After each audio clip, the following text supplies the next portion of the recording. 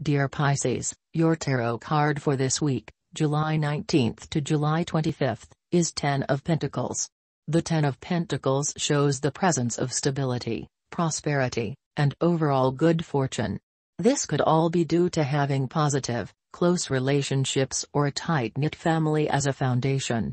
You may have more physical prosperity than you thought. Look around and see the support that's there. It's likely that the money or physical support or whatever it is you need is at hand and that those who said they were behind you really are. Trust your family and loved ones, they really do have your back and we're never going to let you fall. Open yourself to abundance and you might be surprised at how much is there for you. And when you prosper, don't forget to be generous. No one ever does it all on their own, even when we think we do. We all need each other and it's through sharing that we discover our true wealth.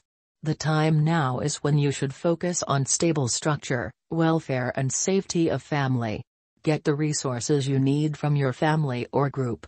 If you are the leader, you should encourage the youth and give them needed facilities for progress. Show more attention to the needs of the elderly. Love and private life. The Ten of Pentacles is a very happy indicator with regard to love. If you are currently committed, this card can mean that you will move to the next level, living together, engagement, marriage, childbirth, all can be indicated by this card. For a time, you are likely to have a peaceful, happy period in your love life.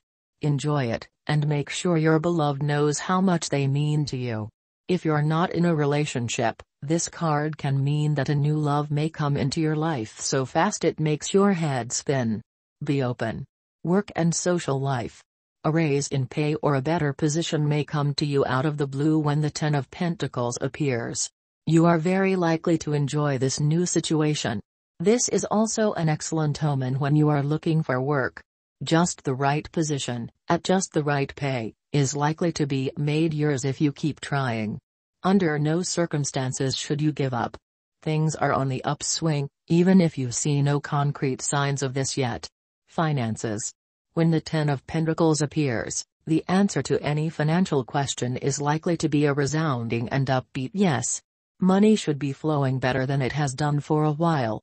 You should have more than enough money to meet your needs. Invest in your future and save some of what is coming in now. Health. As with any other category with the Ten of Pentacles, the health-related news should be very good. You will have at least a short period of time that you are feeling exceptionally well and upbeat about your future.